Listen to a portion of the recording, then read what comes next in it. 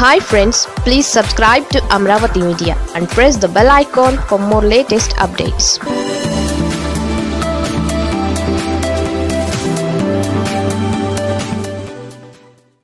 తిరుపతిలో వైసీపీ ప్రభంజనం exit poll లెక్కలివే.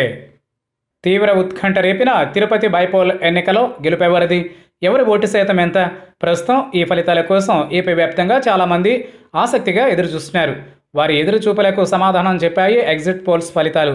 తిరుపతి లోక్సభ నియోజకవర్గానికి జరిగిన ఉప ఎన్నిక ఎగ్జిట్ పోల్ ఫలితాలను కొన్ని సంస్థలు విడుదల చేశాయి. తిరుపతిలో గెలుపు ఎవరిది? ఏ పార్టీకి ఎన్ని ఓట్లు వస్తాయి? అధికార పార్టీ అంచనాలు నిజమవుతున్నాయా? ప్రధాన ప్రతిపక్షం టీడీపీ ఉనికిని చాటుకుందా? ఏపీలో బోణి కొట్టాలి అని చూసిన బీజేపీకి బలం పెరిగిందా? జనసేనాని ప్రచారం బీజేపీకి ఎంతవరకు కలిసి వచ్చింది అన్న విషయాలను అంచనా వేసింది ఆరా సంస్థ. ఎవరికి ఎన్ని ఓట్లు పడే అవకాశం ఉందో అంటూ అంచనాలను చెప్పింది. తీవ్ర ఉద్రిక్తతల మధ్య జరిగిన తిరుపతి ఉప ఎన్నికలో అధికార వైసీపీ భారీ విజయం సాధిస్తున్నట్టు ఆరా సంస్థ ప్రకటించింది. అందరూ ఊహించినట్టే మంత్రులు చెబుతున్న లెక్కలు కూడా నిజమవుతాయని ఆరా సంస్థ చెప్పింది. ఆ సంస్థ అంచనా ప్రకారం వైసీపీకి అరవై ఐదు పాయింట్ ఎనిమిది ఐదు శాతం ఓట్లు దక్కించుకుందని అంచనా వేసింది. అంటే మంత్రులు చెబుతున్నట్టు భారీ మెజారిటీతో వైసీపీ ఎంపీ అభ్యర్థి గురుమూర్తి విజయం ఖాయమని ఆ సంస్థ జోస్యం చెప్పింది. ఇక వరుస ఓటమిలతో ఢీలా పడ్డ టీడీపీకి మరో షాక్ తప్పదని ఆ సంస్థ తేల్చేసింది. గట్టి పోటీ ఇస్తుందని అంచనా వేసిన ప్రధాన ప్రతిపక్షానికి కేవలం ఇరవై మూడు పాయింట్ ఒకటి సున్నా శాతం ఓట్లు మాత్రమే వచ్చే అవకాశం ఉందని చెప్పింది. అయితే ఈ ఎన్నికల ఫలితాలపై టీడీపీ మొదటి నుంచి అభ్యంతరం వ్యక్తం చేస్తోంది.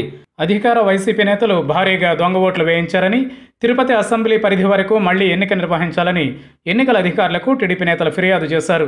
ప్రస్తుతం కేసు కోర్టు పరిధిలో ఉంది.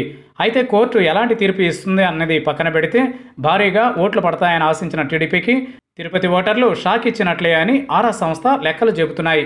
తిరుపతి ఉప ఎన్నికపై కమలం పార్టీ భారీగానే ఆశలు పెట్టుకుంది. తెలంగాణలో దుబ్బాక స్ఫూర్తితో తిరుపతిలో గెలుపొంది ఏపీలో అడుగుపెట్టాలని బీజేపీ ఆశించింది. ముఖ్యంగా జనసేనతో పొత్తు యువత సామాజిక సమీకరణాలు బాగా కలిసి వస్తాయని అంచనా వేస్తోంది. కనీసం గెలవకపోయినా సెకండ్ ప్లేస్ అయితే తమదే అని స్థానికంగా లీడర్లు చర్చించుకున్నట్లు తెలుస్తోంది.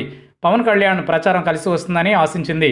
కానీ తిరుపతి ఓటర్లు మాత్రం బీజేపీకి ఊహించని షాక్ ఇచ్చారని ఆరా సంస్థ అంచనా వేసింది. ఆ పార్టీకి కేవలం ఏడు పాయింట్ మూడు నాలుగు శాతం ఓట్లే వస్తున్నట్టు చెప్పింది. ఇక కాంగ్రెస్ సహా ఇతర పార్టీలకు మూడు పాయింట్ ఏడు ఒక్క శాతం ఓట్లు వచ్చినట్లు చెప్పింది.